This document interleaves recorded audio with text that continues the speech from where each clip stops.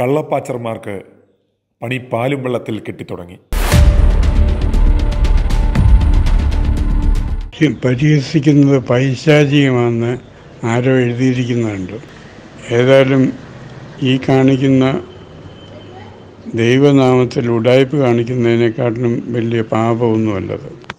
എനിക്ക് വ്യക്തിപരമായിട്ട് അറിയാവുന്ന ഒരു കാര്യം ഞാൻ സാറിന്റെ ശ്രദ്ധപ്പെടുത്തുക അപ്പോൾ എന്റെ ഒരു സുഹൃത്ത് ഒരു എക്സ് സർവീസുകാരനുണ്ടായിരുന്നു അദ്ദേഹത്തിന്റെ വൈഫ് ഒരു ഹോസ്പിറ്റലിന്റെ നേഴ്സാണ് അവർ രാവിലെ ജോലിക്ക് പോകും വൈകിട്ട് തിരിച്ചു വരും. ഇദ്ദേഹം റിട്ടയർ ചെയ്തതുകൊണ്ട് ഇദ്ദേഹം വീട്ടിലെ രണ്ട് മക്കളും പുള്ളിയുമായിട്ടൊക്കെ ഇങ്ങനെ വിശ്രമ ജീവിതം നയിക്കുക. അപ്പോൾ അവിടെ ഒരു കിണർ കുഴിച്ചുകൊണ്ടിരിക്കുക അപ്പോൾ ഇതുപോലൊരു ഉപദേശി അവിടെ കയറി ചെന്നു ആ സഹോദരൻ കിണർ കുഴിച്ചുകൊണ്ടിരിക്കുകയെന്ന് അറിഞ്ഞു. ആ വെള്ളം എത്രയും പെട്ടെന്ന് വെള്ളം കിട്ടട്ടെ ദൈവം അനുഗ്രഹിക്കട്ടെ. നമുക്കൊന്ന് പ്രാർത്ഥിക്കാമെന്നൊക്കെ പറഞ്ഞ് മുട്ടിക്കൂടി പുള്ളിയുടെ വീട്ടിൽ കയറി പ്രാർത്ഥിച്ച് പോകാൻ നേരത്തെ ഒരു ചെറിയ പോക്കറ്റ് മണിയും മേടിച്ച് വെച്ചുകൊണ്ട് പുള്ളി അങ്ങ് പോയി. ഇയാൾ പോയ വഴിക്ക് ബസ്സിൽ നിന്ന് ഇയാൾ ചെന്ന് ബസ്സേ കയറാൻ നിൽക്കുന്നിടത്ത് ഇയാളുടെ ഈ എക്സ് സർവീസുകാരന്റെ വൈഫ് വന്ന് കാറേ വന്ന് അവിടെ ഇറങ്ങി. അപ്പോൾ അവർ ഇത് കണ്ടു. ഇയാൾ വണ്ടിയെ കയറി പോകുന്നതൊക്കെ കണ്ടു. അത് കഴിഞ്ഞ് വീട്ടിൽ വന്നു കഴിഞ്ഞുടനെ ഈ ഇളയ പെങ്കൊച്ച് അന്നതിനാണ്ട് എട്ടോ പത്തോ വയസ്സുണ്ട്. അത് ചെന്ന് അമ്മയോട് എന്ന് പറഞ്ഞു അമ്മച്ചി ഇന്നിവിടെ ഒരു ഒരാൾ വന്ന് ഇവിടെ പ്രാർത്ഥിച്ചേച്ച് പോയി. പിന്നെ പോകാൻ നേരത്ത് പപ്പ അതിന് ഒരു പോക്കറ്റ് മണി ഏതാണ്ട് കൊടുത്തു. എന്ന് പറഞ്ഞു. അപ്പോൾ അവർ പറഞ്ഞു നിങ്ങൾ എന്തിനാ അയക്ക് പൈസ കൊടുത്തേ? അവൻ ആരെങ്കിലും പൈസ കൊടുക്കുമോ നിങ്ങൾ എന്തൊരു പണിയായി കാണിച്ചത്? കാശില്ലായിരിക്കുന്ന നേരത്തെ. കിണർ വെട്ടി എന്നും പറഞ്ഞ് പഴി പറഞ്ഞു ഒരുത്തൻ കയറി വന്നു നിങ്ങൾക്ക് വേറെ തൊഴിലൊന്നും ഇല്ലായിരുന്നു? എന്നെല്ലാം ചോദിച്ചു ഇവർ തമ്മിൽ വഴക്കായി ഒടുവിൽ അന്ന് ഈ സത്യം പറഞ്ഞാൽ ഈ എക്സ് സർവീസുകാരില്ലേ അവർക്ക് മുൻകോപം കൂടുതലില്ലേ. അത് വലിയ ഭയങ്കര ബഹളമായിട്ട് വൈകിട്ട് അന്ന് ആരും ആഹാരമൊന്നും കഴിച്ചില്ല. കാര്യം അതുപോലത്തെ ബഹളമായിരുന്നു. ചുരുക്കി പറഞ്ഞാൽ അന്നത്തെ ഇടം അങ്ങനെ അങ്ങ് കഴിഞ്ഞു. പിറ്റേ ദിവസം പിന്നെ അങ്ങ് ശാന്തമായി. അപ്പോൾ പുള്ളി മനസ്സുകൊണ്ട് തീരുമാനിച്ചു. അത് ശരി അവൾ പറഞ്ഞതിനകത്ത് കാര്യമുണ്ട്. അങ്ങനെ കൊടുക്കേണ്ട കാര്യമൊന്നുമില്ലല്ലോ. എന്നെല്ലാം പുള്ളി മനസ്സുകൊണ്ട് അങ്ങ് തീരുമാനിച്ചു. പിന്നെ ഇതങ്ങ് രമ്യതയിലായി. കറക്റ്റ് ഒരു മാസം കഴിഞ്ഞപ്പം ഈ കക്ഷി പിന്നെ ഇവരുടെ വീട്ടിൽ ചെന്നു. വീട്ടിൽ ചെന്നപ്പം പുള്ളി മാത്രമേ ഉള്ളൂ മക്കളാരും അവിടെ ഇല്ല ഭാര്യ അവിടെ ഇല്ല പുള്ളി മാത്രമേ ഉള്ളൂ. അങ്ങനെ ഒരു ചാരുകസേറിൽ ഇങ്ങനെ മയങ്ങി കിടക്കുക അപ്പോൾ ആ സമയത്ത് അങ്ങനെ കയറി ചെന്ന് ആ സഹോദര കിണറൊക്കെ വെട്ടിയല്ലേ? ആ വെള്ളമൊക്കെ കണ്ടല്ലോ ഞാൻ പ്രാർത്ഥിക്കുന്നുണ്ടായിരുന്നു കേട്ടോ എന്നെല്ലാം പറഞ്ഞു. സ്റ്റെപ്പയിലോട്ട് പെരക്കകത്തോട്ട് കയറി സ്റ്റെപ്പയിലോട്ട് ചവിട്ടി ഉടനെ പുള്ളി പറഞ്ഞു അവിടെ നിന്നില്ല അവിടെ നിന്നില്ല ഞാൻ അങ്ങോട്ട് ഇറങ്ങി വരാമെന്ന് പറഞ്ഞു. ഒറ്റ ചോദ്യം എടോ എല്ലാവരും വീട്ടിൽ വന്ന് പ്രാർത്ഥിച്ചേച്ച് പോയാൽ ആ വീട്ടിൽ അനുഗ്രഹമാണ്. താൻ ഇവിടെ വന്ന് പ്രാർത്ഥിച്ചേച്ച് പോയി അന്ന് ഞങ്ങളുടെ വീട്ടിൽ ആരും കഞ്ഞി കുടിച്ചിട്ടില്ല കഞ്ഞിവെപ്പും ഉണ്ടായിട്ടില്ല. അന്നത്തെ ആദ്യം എന്റെ മനസ്സിൽ ഇപ്പോഴും ഇരിപ്പുണ്ട്. പെരക്കകത്ത് കയറരുത് കയറി ആടി വാങ്ങിക്കും. പുള്ളി അതെന്താ സഹോദരൻ അങ്ങനെ പറഞ്ഞെന്ന് പറഞ്ഞപ്പോഴത്തേന് പുള്ളി ചാടി വെളിയിലിറങ്ങി. അപ്പോൾ അടി കൊള്ളുമെന്ന് മനസ്സിലായപ്പോഴത്തേന് എന്നാ ഞാനങ്ങ് പോവാമെന്നും പറഞ്ഞു. അങ്ങനല്ല തന്നെ ഞാൻ വണ്ടി കയറ്റി വിട്ടേച്ചേ പോകത്തുള്ളൂ. ഈ കരയിൽ ഇനി ഒറ്റ വീട്ടിൽ കയറിയേ കയറുമെന്നും പറഞ്ഞ് പിടിച്ചോണ്ട് പോയി. അടുത്ത ബസ് വന്നപ്പോൾ ആ ബസ്സേ കയറ്റി നിർത്തിയിട്ട് പറഞ്ഞു മേലാൽ ഈ ഏരിയയിൽ വന്നേക്കുന്നത് അടിച്ചിന്റെ ഷേപ്പ് ചെയ്യാൻ മാറ്റുമെന്ന് പറഞ്ഞു. അങ്ങനെ ഒരു സംഭവം. അപ്പോൾ ഈ കൂട്ടത്തിൽ ഇപ്പോൾ സാർ ഇങ്ങനെയുള്ള വിഷയങ്ങളൊക്കെ ഒരുപാട് കൈകാര്യം ചെയ്യുന്നുണ്ട്. അത് ഇതൊക്കെ പറഞ്ഞു കഴിയുമ്പോൾ മറ്റുള്ളവർക്ക് മനസ്സിലാകും. ഇപ്പം ശരിക്കും ഇതൊക്കെ എറിച്ചിട്ടുണ്ട്. ഈ ലോകം മുഴുവൻ ഇത് കേട്ടിട്ടുണ്ട് കേട്ടോ. അത് ഓർത്തോണം. തന്നെയല്ല ഇന്നലത്തെ ആ ചിരിച്ച് ചിരിച്ച് ചാകുമെന്ന് പറഞ്ഞ് അതിനകത്തെ ഈ മണികിലക്കത്തിന്റെ കാര്യമൊക്കെ പറഞ്ഞല്ലോ. ഇവരൊക്കെ ഇത് ആദ്യമായിട്ട് കേൾക്കുക. കാര്യം ഇവരുമായിട്ടൊക്കെ ഇടപെട്ട് ആൾക്കാർക്കൊക്കെ ഇതിനേക്കാൾ ഒരു ഒരുപാട് കാര്യങ്ങൾ പറയാൻ കാണും. ഒരുപാട് കാര്യങ്ങൾ പറയാൻ കാണും. ബ്രദർ എന്റെ മനസ്സിൽ ഒരു തോന്നിയ ഒരു ഒരു ചിന്ത പറയാനായിട്ടാണ് ഞാൻ ഈ വോയിസ് മെസ്സേജ് അയക്കുന്നത്. ഇനി നമ്മൾ ഈ വീഡിയോസൊക്കെ കൊടുക്കുമ്പോഴേ അതിനൊരു തലക്കെട്ട് വേണം. കള്ളന്മാരുടെ ഗുഹ. കാരണം ഇത് പെന്തക്കോസ്തെന്ന് സഭയെന്ന് പോലും അതിന് യോഗ്യതയില്ല. അങ്ങനെ പറയാൻ പോലുള്ള യോഗ്യത നമ്മളായിട്ട് ഉണ്ടാക്കി കൊടുക്കരുത്. യേശു ക്രിസ്തു പറഞ്ഞല്ലോ നിങ്ങൾ എന്റെ പിതാവിന്റെ ആലയം കള്ളന്മാരുടെ ഗുഹയാക്കി തീർത്തത്. ആ കള്ളന്മാരുടെ ഗുഹ എന്നുള്ള തലക്കെട്ട് നല്ലതായിരിക്കും കേട്ടോ. ഞാൻ എന്റെ മൊബൈലിനകത്ത് ഈ നമ്മുടെ ചാനലിന്റെ നമ്പർ ഞാൻ സേവ് ചെയ്തിട്ടിരിക്കുന്നത് ഐ ടു ഐ ചാനൽ എന്നല്ല. എനിക്ക് ഈ ചാ ഇത് നമ്മൾ പലതും കേട്ടപ്പം എന്റെ മനസ്സിൽ തോന്നി ആ പേര് ഇടേണ്ട ട്രൂ ചാനൽ എന്നാണ് കൊടുക്കേണ്ടത് ഞാൻ എന്റെ മൊബൈലിൽ ട്രൂ ചാ ഈ number WhatsApp number true channel എന്നാണ് ഞാൻ അതിനകത്ത് സേവ് ചെയ്തിരിക്കുന്നത്. സാറേ സാറേ വരി വരി താങ്ക്സ് പറയാനാണ് സാറിനെ വിളിച്ചത് കേട്ടോ.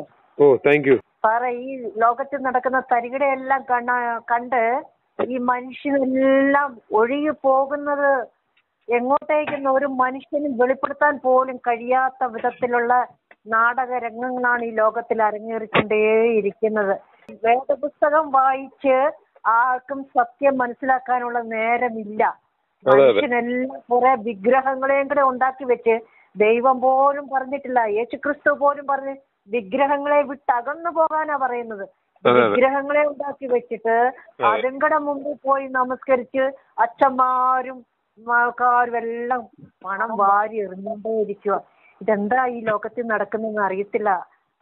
സാറേ കാരണം ദൈവത്തിന്റെ വരവ് ഏറ്റവും അടുത്തു എന്നുള്ളതിന് ഏറ്റവും വലിയ തെളിവാണ് ഇന്ന് ഈ ലോകത്തിൽ നടന്നുകൊണ്ടിരിക്കുന്നത്. ഇന്ന് ഈ ലോകത്തിൽ നടത്തുന്നതൊന്നും പരിശുദ്ധാത്മാവിന്റെ അഭിഷേകത്താൽ ആരും നടത്തുന്നതേ അല്ല. ബൈബിൾ വായിച്ച് സത്യം അറിഞ്ഞു കഴിഞ്ഞപ്പോൾ ഇതിനെല്ലാം മാറി കാരണം ഞാനും പണ്ട് തങ്കു പാസ്റ്ററിന്റെ സഭയിൽ പോയി പ്രാർത്ഥിച്ചിട്ട ഒരു വ്യക്തിയായിരുന്നു.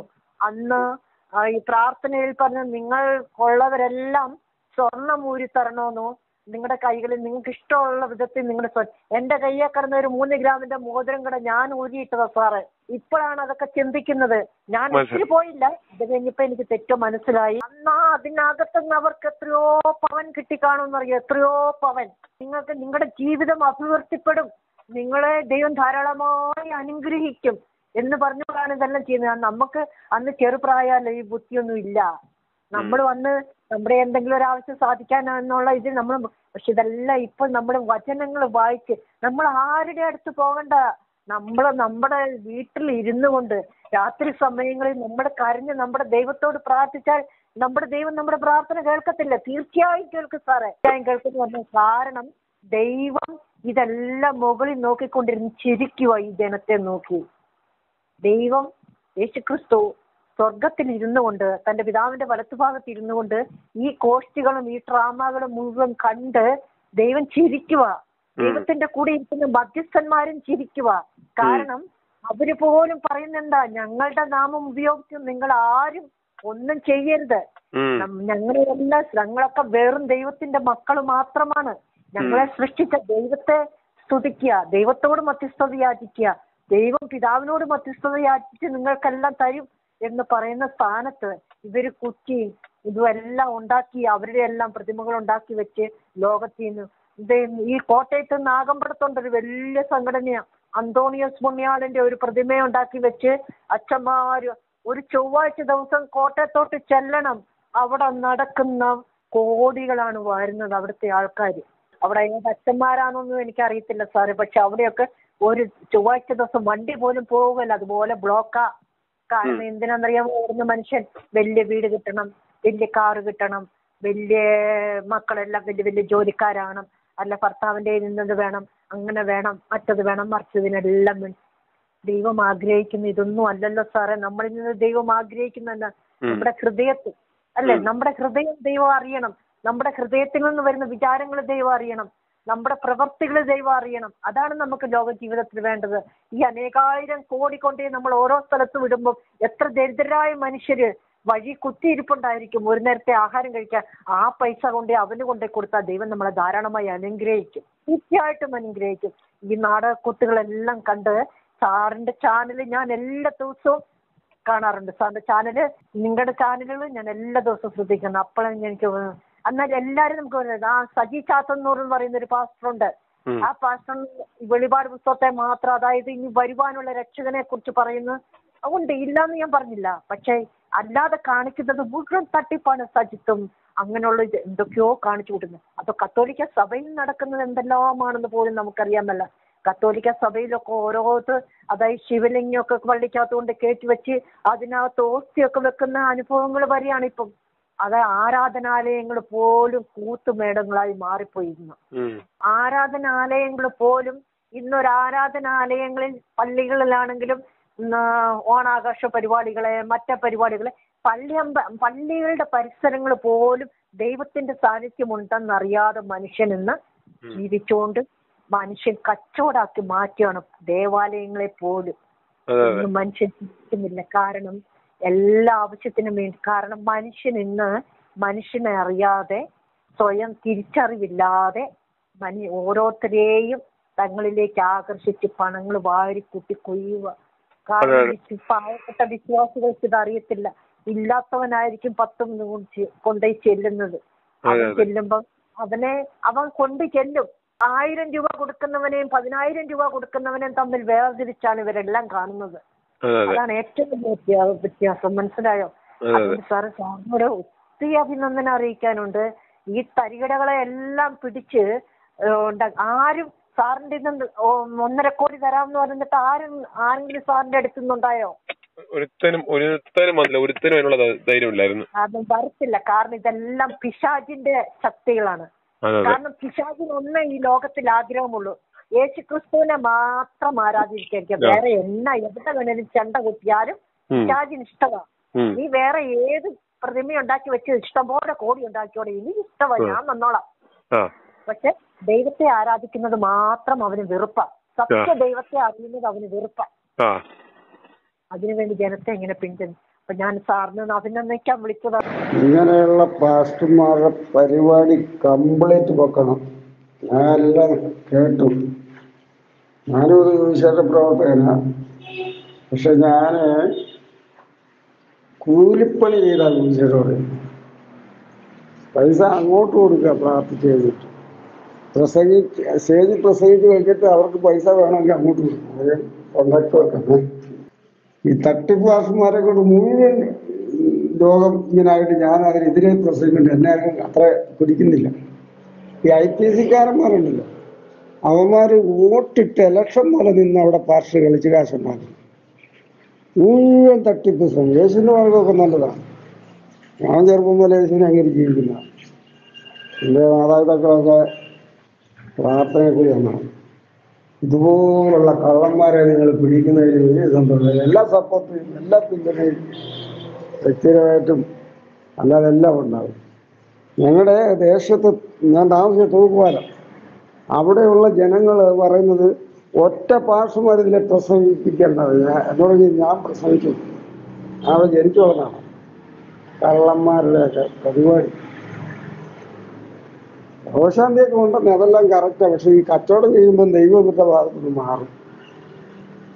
ഞാൻ ഇതുവരെയും മരുന്ന് വെച്ചിട്ടുള്ളവരാണ് രോഗശാന്തിയിലേക്ക് എനിക്ക് നല്ല വിശ്വാസമുണ്ട്. പക്ഷേ ഇത് വ്യാപാരം ചെയ്തുകൊണ്ട് നടന്ന ഇതിന്റെ പുറകെ മുമ്പ് എഴുതിയിരിക്കുന്ന പോലെ യേശുവിന്റെ ശബ്ദമല്ല ജഗത്താന്മാരുടെ പരിപാടി ജഗത്താന്റെ മക്കളായി ഇവരെല്ലാം പൊക്കിക്കും. എന്ത് വന്നാലും. ഇത് മുമ്പ് ഇന്നലെ നിങ്ങൾ പറഞ്ഞത് തന്നെ പോലീസുകാരുടെ ഭരണകൂടങ്ങളൊക്കെ മിണ്ടായിരിക്കുക കാശും വാങ്ങിച്ചുകൊണ്ട് മാർക്ക് വളമായിട്ടുണ്ട് പക്ഷെ ഇത് സംഘം ഞങ്ങളുടെ ദേശത്ത് ചെറുപ്പക്കാരെ ഞാൻ സംഘടിപ്പിച്ചുകൊണ്ടിരിക്കുക ഇങ്ങനെയുള്ള പരിപാടി അക്രമങ്ങൾ തടയാൻ. സ്റ്റേഷനിൽ കൊണ്ട് കേസ് കൊടുത്തിട്ട് കഥയില്ല. പോലീസുകാർക്ക് കാശ് കിട്ടി അവരങ്ങോട്ട് ഇങ്ങോട്ടൊക്കെ പറയും അതുകൊണ്ട് ചെയ്ത ഇങ്ങനെയുള്ള ഈ വീഡിയോ ചെയ്യുന്ന എന്നാ ആണെങ്കിലും നടത്തിയിട്ടുണ്ട് നല്ല കാര്യം. സാറിന്റെ ഇന്നലത്തെ ആ നിങ്ങൾക്കുമാകാം കോടീശ്വരൻ എന്ന ആ പരിപാടി സാധാരണക്കാരായ ജനങ്ങളുടെ മനസ്സ് തട്ടുകയും ഇങ്ങനത്തെ തട്ടിപ്പുകാരിൽ നിന്ന് രക്ഷപ്പെടുവാനുമുള്ള ഒരു നല്ലൊരു റെവല്യൂഷണർ ആയ ഒരു പരിപാടിയായിരുന്നു. ഒത്തിരി ജനങ്ങൾ ജനങ്ങൾക്ക് മനസ്സിലാക്കാൻ കഴിവുള്ളവരും സാറ് പറയുന്ന പോലെ മൊണ്ണയായ ക്രിസ്ത്യാനികൾ. അവർ അത് ഇതിന്ന് മനസ്സിലാക്കി രക്ഷപ്പെടാനാണെങ്കിൽ രക്ഷപ്പെടാം. എന്ത് ചെയ്താലും ഞാൻ രക്ഷപ്പെടുകയേ ഇല്ലെന്ന് പറയുന്നവരെ നമുക്കൊന്നും ചെയ്യാൻ പറ്റുകയില്ല പക്ഷേ സാറിന്റെ ആ പ്രോഗ്രാം ഒത്തിരി ഒത്തിരി ഒത്തിരി പ്രയോജനം ചെയ്തു എന്നാണ് ഞാൻ വിശ്വസിക്കുന്നത്. സാറിന് എല്ലാ രീതിയിലെ ആശംസകളും ഇതിനോട് ഞാൻ ഇതിനോട് കൂടെ അർപ്പിക്കുകയാണ്. ഞാൻ ഈ ആത്മീയ രംഗത്തെ വ്യാജന്മാരെ തുറന്നു കാണിക്കുന്നതിനും അതുപോലെ മനുഷ്യരെ വഞ്ചിക്കുന്ന ദൈവത്തിന്റെ പതിന് ദുരിതമായി പ്രവർത്തിക്കുന്ന എല്ലാ കാര്യങ്ങൾക്കും ഞാൻ എതിരാണ്. പക്ഷേ ഞാൻ ഒരു വ്യക്തികൾക്കെതിരല്ല. കാരണം ബൈബിൾ പറയുന്നത് മാംസരക്തങ്ങൾ സ്വർഗരാജ്യം അവകാശമാക്കുകയില്ല എന്നുള്ളതാണ്. അപ്പം അവരുടെ പിന്നിൽ അല്ലെങ്കിൽ അവരിൽ ഉള്ള ഒരു ആത്മാവിനെതിരെയാണ് എന്റെ പോരാട്ടം. ബൈബിളിന്റെ പോരാട്ടവും as per Ephesian chapter six വെച്ചിട്ട് അതുതന്നെയാണ് എങ്കിലും സത്യം മറ്റുള്ളവരെ തുറന്നു കാട്ടുന്നതോടൊപ്പം സത്യം തുറന്നു പറയുകയും കൂടി ചെയ്യുമ്പോഴാണ് നിങ്ങളുടെ സ്ലോഗൻ കറക്റ്റ് ആവുന്നത്. സത്യത്തിന് നേരെ ഒരു കണ്ണ്. ഇപ്പോൾ വ്യാജന്മാരെ തുറന്നു കാട്ടുന്നത് കൊണ്ട് സത്യത്തിന് നേരെ കണ്ണാകുന്നില്ലല്ലോ. അപ്പോൾ സത്യം എന്താണെന്ന് ചോദിച്ചു കഴിഞ്ഞാൽ എ ഡി ഒന്നാം നൂറ്റാണ്ടിലാണ് കർത്താവിന്റെ ശരീരമാകുന്ന സഭ അപ്പസ്വലന്മാരുടെ ഉപദേശപ്രകാരം അപ്പസ്വല പ്രവൃത്തി രണ്ടാം അധ്യായം അതിന്റെ മുപ്പത്തെട്ട് മുതൽ നാൽപ്പത്തിയേഴ് വാക്യങ്ങളിലാണ് ദൈവസഭ ആരംഭിക്കുന്നത്. എന്നാൽ ഏതാണ്ട് മൂന്ന് നൂറ്റാണ്ടുകൾക്ക് ഇപ്പുറം എ ഡി മുന്നൂറ്റി ഇരുപത്തഞ്ചിൽ കോൺസ്റ്റന്റൈൻ ചക്രവർത്തി ക്രിസ്തുവിന്റെ സഭ ഹൈജാക്ക് ചെയ്ത് പിടിച്ച് അതിൽ ഉപദേശങ്ങളും പേ- പേപ്പൽ അതായത് പോപ്പും പിന്നെ ബിഷപ്പും കൊന്തയും ജപമാലയും വിശുദ്ധന്മാരും വിഗ്രഹങ്ങളും സ്ഥാപിച്ച് ഇങ്ങോട്ട് പോന്ന് അതിൽ നിന്ന് പിന്നീട് പിൽക്കാലത്തുണ്ടായതാണ് ഈ പ്രൊട്ടസ്റ്റന്റും പിന്നീട് ഉണ്ടായി ഇന്ന് നമ്മൾ കാണുന്ന നൂറുകണക്കിന് ക്രിസ്തീയ മതങ്ങളും അതുപോലെ സംഘടനകളും. എന്നാൽ ഇതൊന്നും അല്ല സത്യം. സത്യം ബൈബിളിൽ കിടപ്പുണ്ട്. അതായത് സ്വന്തം കൈകൊണ്ട് അധ്വാനിച്ച് വേല ചെയ്യുകയും ഇതര സഹോദരങ്ങളെ ജാതി മത നിറത്തിന്റെ വ്യത്യാസമില്ലാതെ സഹോദരന്മാരായി കാണുന്നതും അവരെ സ്നേഹിക്കുന്നതും സേവിക്കുന്നതും പണത്തിനോ സ്ഥാനമാനത്തിനോ പദവികൾക്കോ അല്ലാതെ അപ്പസ്വലന്മാർ ചെയ്തതുപോലെ അതേ വചനം അങ്ങനെ തന്നെ പഠിപ്പിക്കുകയും ജീവിക്കുകയും ചെയ്യുന്ന നല്ല ടെസ്റ്റിമണിയുള്ള ഒരു വിശ്വാസം ബൈബിളിൽ കിടപ്പുണ്ട്. കൃപയാൽ ഞാൻ അത് വിശ്വസിക്കുകയും താങ്കൾ പല വീഡിയോയിലും പറയുന്ന പോലെ താങ്കൾ കർത്താവിനും ദൈവത്തിന്റെ വചനത്തിനും എതിരല്ല എന്ന് പറയുന്നുണ്ട്. അപ്പോൾ കർത്താവിനും ദൈവത്തിന്റെ വചനത്തിനും യോഗ്യമായ ജീവിതം ജീവിക്കുക. കർത്താവ് വാഗ്ദത്തം ചെയ്ത പോലെ ഈ വഷളത്വം നിറഞ്ഞ തലമുറയിൽ കർത്താവ് മധ്യാകാശത്തിൽ തന്റെ മണവാട്ടിയായ സഭയെ ചേർക്കാൻ വരും. അപ്പോൾ ആ മണവാട്ടിയുടെ സഭയുടെ യഥാർത്ഥമായ ഒരു പാറ്റേൺ കിടക്കുന്നത് ബൈബിളിൽ ആദ് ആദ്യ പുസ്തകങ്ങളിൽ അതായത് പുതിയ നിയമത്തിന്റെ ആദ്യ പുസ്തകങ്ങളാകുന്ന അപ്പസോല പ്രവർത്തികൾ മുതൽ തുടർന്ന് നമ്മൾ റോമാ സഭ മുതൽ ഈ എബ്രായ സഭ വരെയുള്ള ലേഖനങ്ങളിൽ ആ പാറ്റേൺ കിടപ്പുണ്ട്. അത് ഒരു വിശ്വാസി ജീവിച്ച് പ്രവർത്തിച്ച് കാണിക്കാൻ വേണ്ടിയുള്ള മാതൃകകളാണത്. ആ മാതൃകകൾ അതേപോലെ പിൻപറ്റുന്നവർ ക്രിസ്ത്യാനികളാണ്. അവർ പെൻഡക്കുസുകാരല്ല മാർത്തോമക്കാരല്ല യാക്കോവയല്ല കത്തോലിക്കരല്ല. ക്രിസ്ത്യാനികളാണ് ആദിമ ക്രൈസ്തവരെ ക്രിസ്ത്യാനികളാണെന്നാണ് വിളിച്ചതായിട്ട് അപ്പസോൽ പ്രവൃത്തി പതിനേഴാം അധ്യായത്തിൽ നമ്മൾ കാണുന്നത്. ഇങ്ങനൊരു സത്യത്തിന് വേണ്ടി ഈ പല ആളുകളും പല സ്ഥലത്തും പോയിട്ട് ഇതാണോ സത്യം? സത്യത്തിന് വേണ്ടി നടന്ന് ഫ്രസ്ട്രേറ്റഡ് ആയിട്ട് അലഞ്ഞ് നടക്കുന്നവരുണ്ട്. അവർക്ക് സത്യത്തിന്റെ കണ്ണ് തുറക്കാൻ വേണ്ടി ഐ ടു എ ചാനൽ ഞങ്ങൾ ഈ പറയുന്ന കാര്യം കുറച്ചൊന്ന് സംപ്രേഷണം ചെയ്യുമെങ്കിൽ ഒരുപക്ഷെ അത് ദൈവത്തിന്റെ ഒരു നിയോഗമാകുമെന്ന് വിചാരിച്ചുകൊണ്ടാണ് ഞാൻ സഹോദരനുമായി ബന്ധപ്പെടാൻ നിരന്തരമായി ശ്രമിച്ചു വന്നത്. സത്യത്തിന് നേരെ ഒരു കണ്ണെന്നുള്ളത് വ്യാജത്തിന് നേരെ മാത്രമല്ല സത്യത്തിന് നേരെ കൂടി തുറന്നു പിടിക്കും എന്ന് പ്രത്യാശയോടെ ക്രിസ്തുവിൽ നിങ്ങളുടെ ഒരു എളിയ സഹോദരൻ. ഞങ്ങൾ ബന്ധുക്കോസിലെ പാസ്റ്റർമാർ പോലും അറിയാത്ത ഈ കള്ള കള്ള പാസ്റ്റർമാർ ഒത്തിരി ഇറങ്ങിയിട്ടുണ്ട്. ഇവരെ നിങ്ങൾ ഇത് വെളിയിൽ കൊണ്ടുവരുന്നതിൽ ഞങ്ങൾക്ക് ഒത്തിരി സന്തോഷമേ ഉള്ളൂ. Okay okay. ഞങ്ങളൊക്കെ ഞങ്ങളുടെ കയ്യിൽ ഇരിക്കുന്ന പൈസ അങ്ങോട്ട് കൊടുത്ത് സുവിശേഷം അറിയിക്കുന്നവരാണ് ഇതിനെ ദൈവതമ്പുരാൻ അനുഗ്രഹിക്കട്ടെ.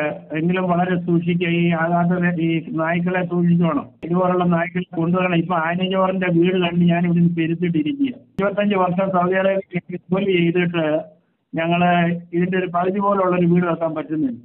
ഞാൻ എന്റെ ഭാര്യയോട് ഇരുപത്തഞ്ച് വർഷം സൗദി അറേബ്യ ജോലി ചെയ്യുക പക്ഷെ ഞങ്ങളിപ്പോൾ രണ്ടായിരത്തി ഇരുപത്തി ഇരുപതിലാണ് ഒരു ചെറിയ വീട് വെച്ചു. ഇതിനൊക്കെ ഈ വലയിട്ടാൽ പണ്ട് നമ്മുടെ കർത്താവ് പറഞ്ഞില്ലയോ? വല വീശി വീൻ വലത് വെച്ച് പെരുത്ത മീൻകൂട്ടം ഈ പൊട്ട സത്യം പറയാ മന്ദബുദ്ധികളാണെന്നുള്ളത് കേരളത്തിലെ ജനങ്ങളെന്നും.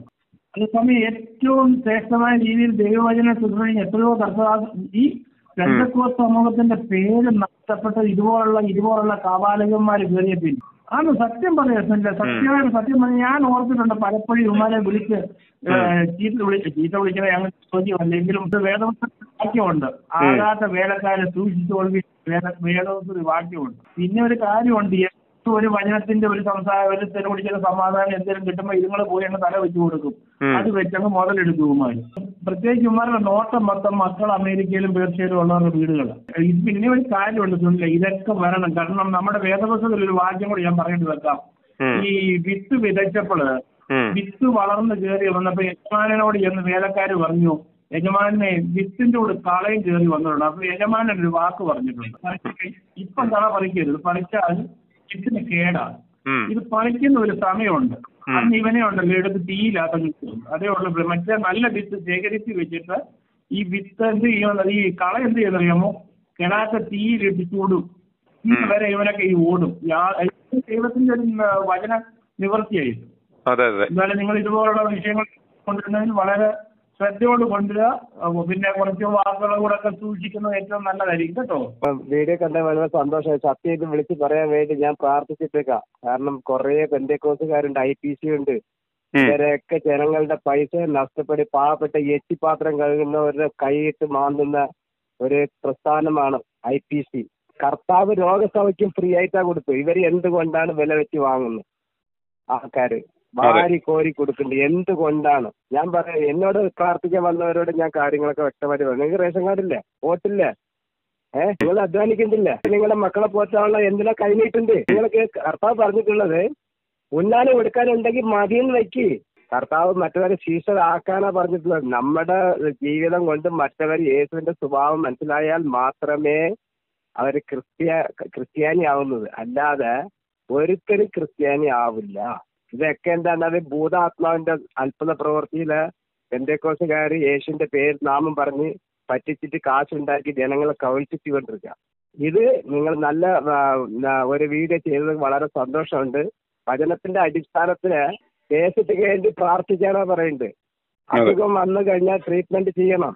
ആ മാറാത്തതിന് ഒരു ദയദാസം എന്ന് പ്രാർത്ഥിച്ചാൽ അത് സാധിക്കാതെ ദൈവത്തിലാണ് നമുക്കില്ല പ്രതിഫലം വാങ്ങരുത്.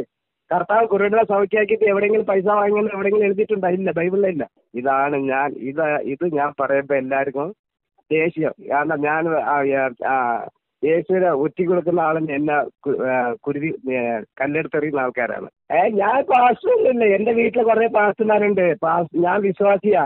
കർത്താവിന്റെ വചനപ്രകാരം ജീവിക്കുന്ന ഒരു എളിയ ഒരു ദാസനാണ്. വചനത്തിന്റെ അടിസ്ഥാനത്തിലാണ് ഞാൻ പറയുന്നത് പാസ്റ്റർ അല്ലാതെ പെന്തക്കോസ് ഞായറാഴ്ച ആരാധിക്കണം ദൈവത്തെ യേശുവിനെ. യേശുവിന്റെ ക്രിസ്ത്യാനി ആവണമെങ്കിൽ ക്രിസ്തുവിന്റെ കഷ്ടം സഹിക്കുന്നവനാണ് ക്രിസ്ത്യാനി. അല്ലാതെ പറ്റിച്ചിട്ട് കള്ളത്തരം ചെയ്തിട്ട് കച്ചവടം ചെയ്തിട്ട് കാശുണ്ടാക്കി അവൻ അങ്ങനെ ചെയ്ത് ഇവൻ എങ്ങനെ ചെയ്ത് അന്യഭാഷ എന്ന് പറഞ്ഞ് പെന്തക്കോസിന് ഒരു സമതയില്ല ഞാൻ ചോദിച്ചു നിങ്ങളുടെ പെന്തക്കോസ് ക്രിസ്ത്യാനി ഉണ്ടെങ്കിൽ നിങ്ങളുടെ അപ്പന്റെ ജാതി എന്തുകൊണ്ട് വയ്ക്കാത്തതെന്ന് ചോദിച്ചു. കാരണം എനിക്കൊരു അപ്പന് അപ്പനും അമ്മയും ഉണ്ടെങ്കിൽ എന്റെ അപ്പന്റെ ജാതി ഇല്ല സാറേ എനിക്ക് എന്റെ മക്കൾ വയ്ക്കണം. ഇത് വയ്ക്കണ്ടേ ഇവർ. ഇവർ എന്തൊക്കെ ക്രിസ്ത്യാനി എന്ത് ക്രിസ്ത്യാനിയാ? ഉദാഹരണം പറയാ മുസ്ലിങ്ങളെ കണ്ടു പഠിക്കണം. അവൻ കള്ളത്തരം വെട്ടിത്തരം എല്ലാം ചെയ്താലും അവരെ അവ- അവരുടെ കാര്യം വരുമ്പോ അവരൊക്കെ ഒന്നാവുന്നുണ്ട്. നമ്മുടെ ക്രിസ്ത്യാനികൾ എന്ത് ചെയ്യാ? പാവങ്ങളുടെ കൈയിട്ട് വരാം പിച്ചച്ചട്ടിയിലെ കൈയിട്ട് വരാം. ഇങ്ങനെ കുറെ എണ്ണം ഉണ്ട് ഞാൻ പ്രാർത്ഥിച്ചിട്ടിരിക്കുന്ന വിച്ച ആയിരത്തി തൊള്ളായിരത്തി തൊണ്ണൂറിൽ വെച്ചിട്ടുള്ള പ്രാർത്ഥനയാണ്. ഞാൻ എന്തെങ്കിലും ഒരു ഒരു സംസാരിച്ചാ ദേവദാസനോട് സംസാരിച്ചാൽ പറയാം. ആ ഇമ്മാനെ തീവ്രവാദിയായിരുന്നു പറയും. കാരണം നമ്മൾ സത്യം പറഞ്ഞ കല്ലുപറിക്കരുത് കാരണം ഒരു റോട്ടിലെ ഒരു മാവ് ഉണ്ടെങ്കിൽ അത് ആരും നല്ല മധുരമുള്ള ഫലമെങ്കിൽ എന്ത് ചെയ്യും? അത് പോകുന്നതോ വരുന്നതോ കല്ലുപറിക്കരുത് അതേമാതിരിയുള്ള സ്ഥിതിയാണ്. അപ്പൊ ഞാൻ മിണ്ടാതെ ഇരുന്ന് ദൈവം എന്ന് അറിഞ്ഞുകൊള്ളുന്നതിനുള്ളതിന്റെ പേരിൽ പ്രാർത്ഥിച്ചിരിക്കുന്ന ഫലമായിട്ട് നിങ്ങളെയൊക്കെ ദൈവം കരങ്ങളിലെടുത്ത് ഇങ്ങനത്തെ ആ, പ്രവർത്തിച്ചു വിടുന്നത് കെ- കെ- ആ, നമ്മുടെ കെ പി എനിക്ക് പിടിച്ചു വെച്ച് പ്രാർത്ഥിച്ചതാ. ഏ? അപ്പൊ തന്നെ കള്ള കള്ളപ്പണം പുറത്തു വന്ന്. ഏ? പിന്നെ കെ കെ തിനകരൻ ദിനകരൻ. ദിനകരൻ പറയുന്ന ആൾ എന്ത് സംഭവം എന്ന് പറഞ്ഞു കഴിഞ്ഞാൽ പണ്ട് സി എസ് ഐയിൽ ഇരുന്ന ആളാ. പിന്നെ ഞാൻ ചോദിച്ചു ഇവർ മക്കൾ മാത്രം വലുതാവേണ്ട ഈ വിശ്വാസികൾ എന്തുകൊണ്ട് മുന്നേറാൻ ജോലിക്ക് മുമ്പോട്ട് പോകുന്നില്ല? ഇവരുടെ പൈസ അല്ല ഇവരുടെ പൈസ ഇവരല്ല വാങ്ങുന്നത്. പിന്നെ എങ്ങനെ? അങ്ങനെ ഒരു വെബ്സൈറ്റ് തന്നെ അവിടെ മാറ്റി കളഞ്ഞവര്. I news for truth. I to I news subscribe ചെയ്തിട്ടില്ലാത്തവർ ഇപ്പോൾ തന്നെ സബ്സ്ക്രൈബ് ചെയ്യുക. നോട്ടിഫിക്കേഷൻ ലഭിക്കുവാൻ ബെൽ ബട്ടണും അമർത്തുക.